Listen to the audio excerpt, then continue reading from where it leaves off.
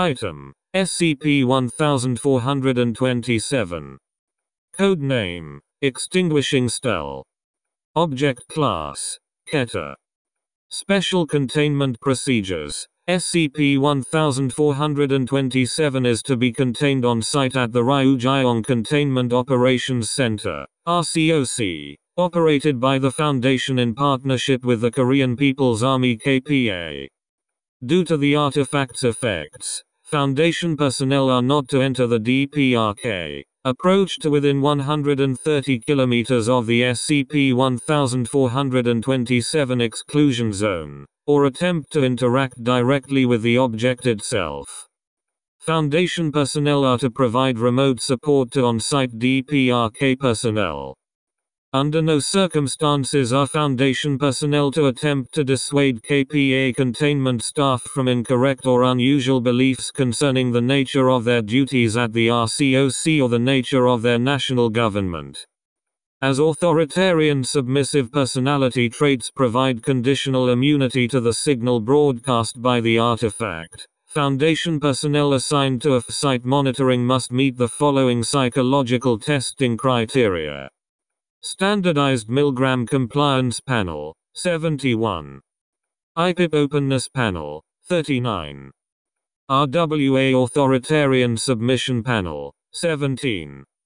RWA Conventionality Panel, 31. At present, only three national governments possess citizens with conditioning suitable for containment of SCP 1427 the Republic of Turkmenistan, the Republic of the Union of Myanmar, and the Democratic People's Republic of Korea, DPRK.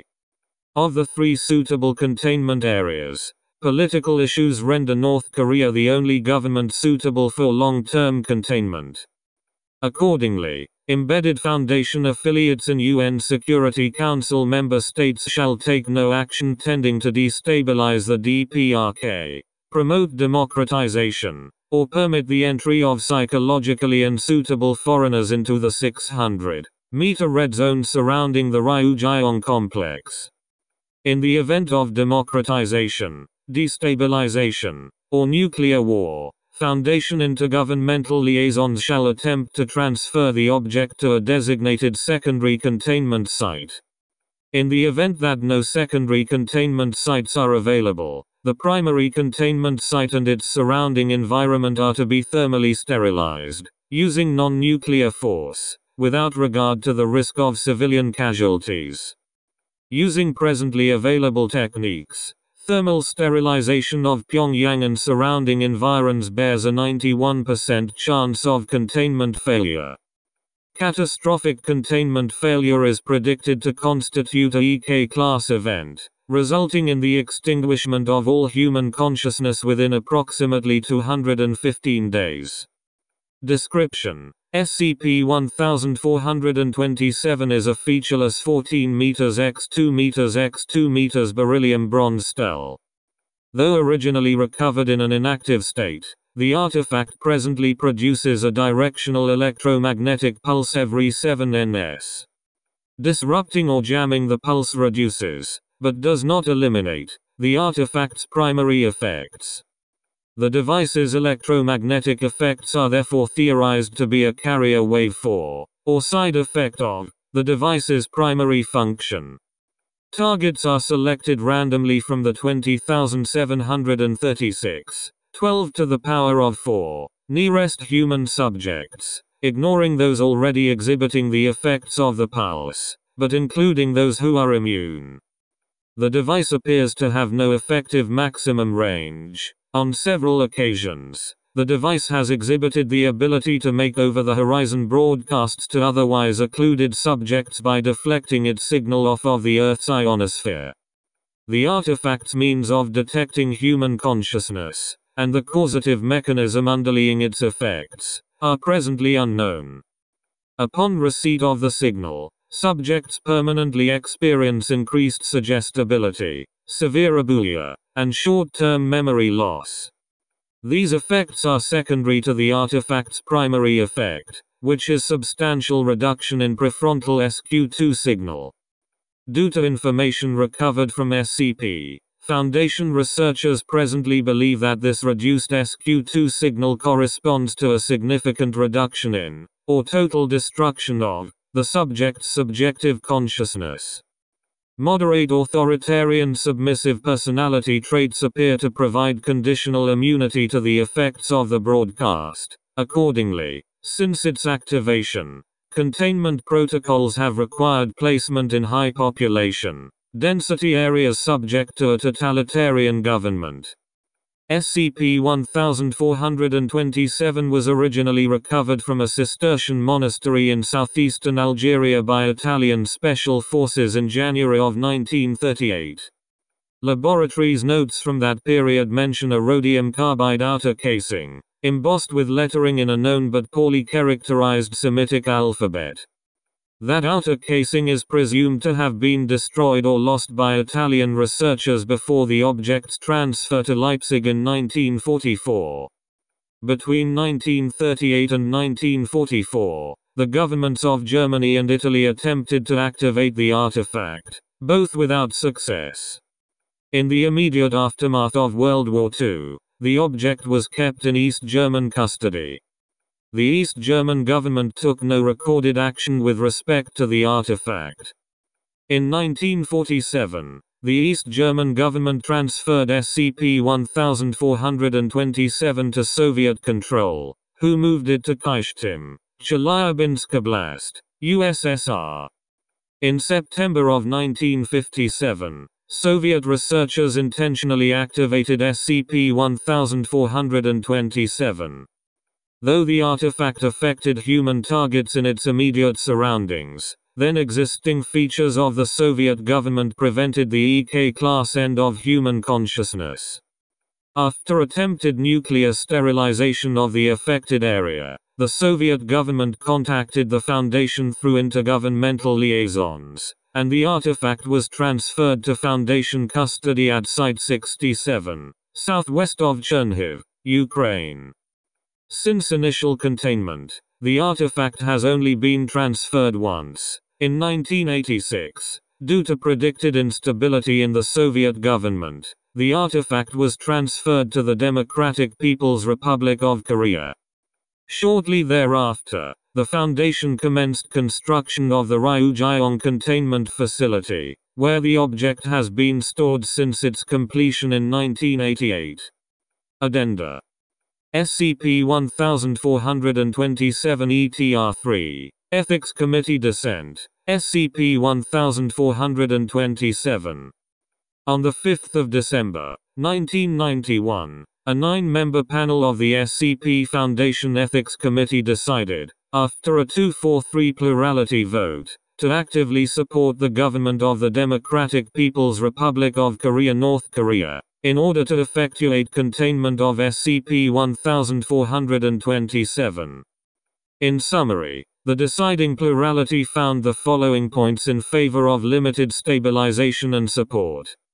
Instability and increasing political openness may soon render the USSR unsuitable for containment of SCP-1427.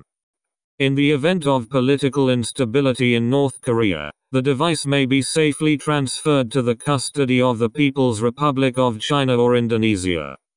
North Korea's closed borders limit the risk of exposing foreigners. Due to limited trade opportunities, Foundation affiliates and liaisons are better able to manipulate North Korean internal policy toward effective containment. Despite the clear benefits of the above, we dissent. Experimentation has demonstrated that SCP-1427 requires no more than 12 to the power of 4 psychologically suitable individuals in close proximity to the object in order to maintain seamless containment. With that in mind, maintaining over 20 million individuals in a state of perpetual, involuntary totalitarian abjection is an unacceptable cost to impose on human subjects. While it is clear that, in 1957, doing so was a necessary accession to certain facts on the ground, viz., Soviet failure to destroy the object outright. The Foundation has recruited 9,724 D class candidates since that date, or just under half the population required to successfully contain the object. Though unclear in 1957, it is now scientifically demonstrated that totalitarian indoctrination may be recreated under laboratories conditions with relatively little sophisticated intervention by researchers. See Zimbardo. p. On obedience to authority. Comma reference omitted. Our failure to do so is an ethical failure of catastrophic proportions. The majority opinion in this review declined to authorize experimentation into artificial totalitarianism on the necessary scale, citing both practical and ethical concerns. They believe that it would be unacceptable to create a totalitarian society in miniature to prevent the end of all mankind. But in order to avoid creating an ethical disaster in miniature, we have authorized one writ large, Totalitarianism which selects individuals by a birthright lottery and not by any particular antisocial acts. As recent events in the USSR and elsewhere have demonstrated, totalitarian dictatorship is not a necessary feature of human society. It is a phase of development which occurred and will someday pass, and it is not the Foundation's right, nor even its duty, to permanently arrest the development of the North Korean people for some greater good, no matter how great that good may be. The majority are demonstrably correct that taking appropriate action to contain SCP 1427 would involve extraordinary moral compromises by the Foundation, whereas mere abdication of our responsibility shares this ethical burden with all humanity and the North Korean leadership. But when we signed our recruiting paperwork, we consented to bear that burden, to do what must be done for the greater good, no matter the cost.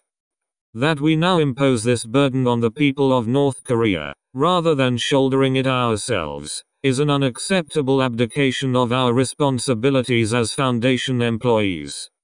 For the foregoing reasons, we the undersigned dissent, reserving the right to appeal this decision to the O5 Council.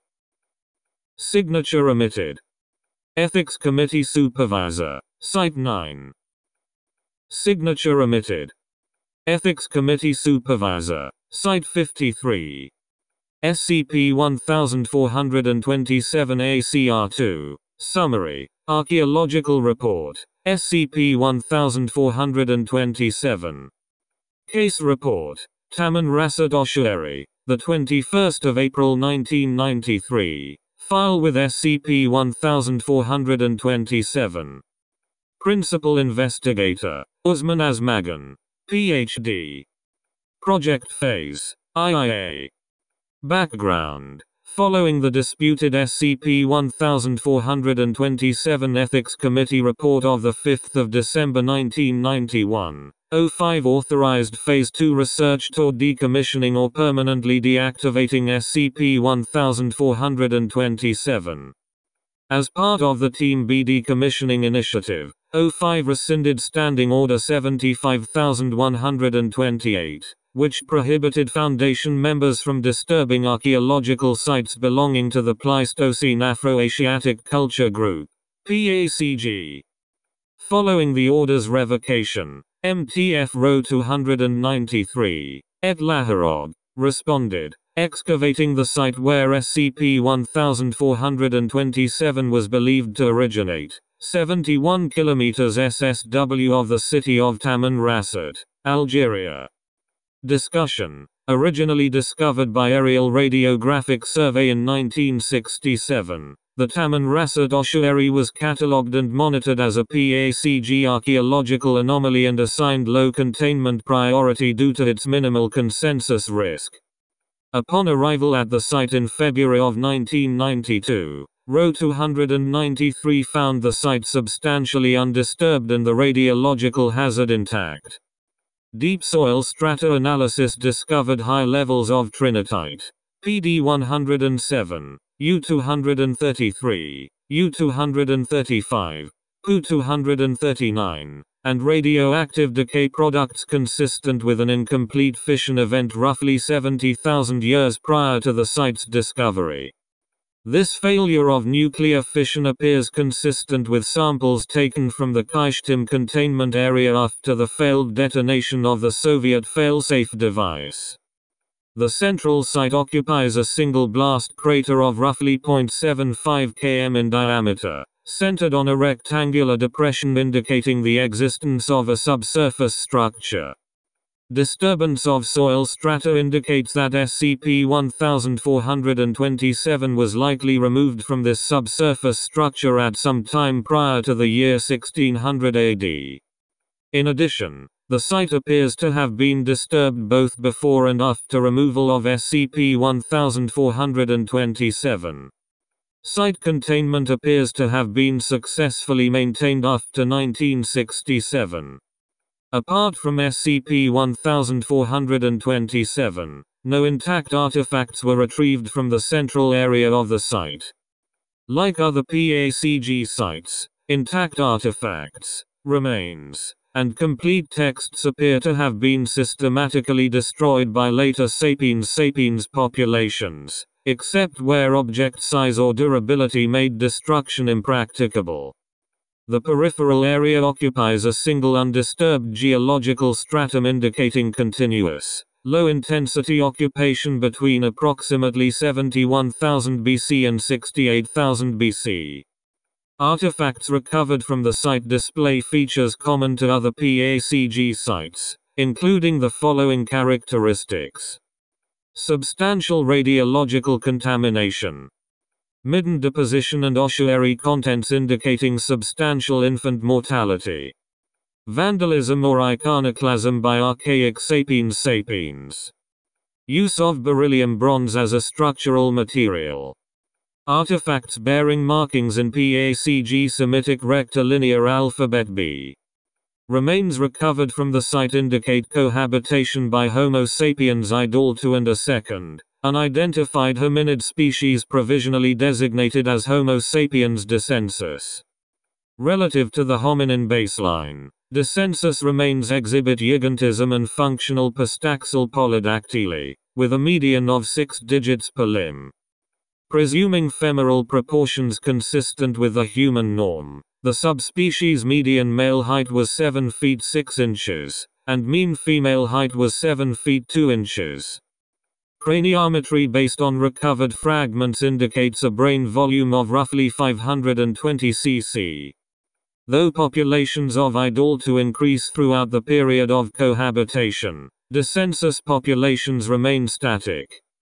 Above the radiation-bearing geologic stratum, no members of the descensus subspecies are found, though intermittent idaltu occupation continues until approximately 63,000 BC.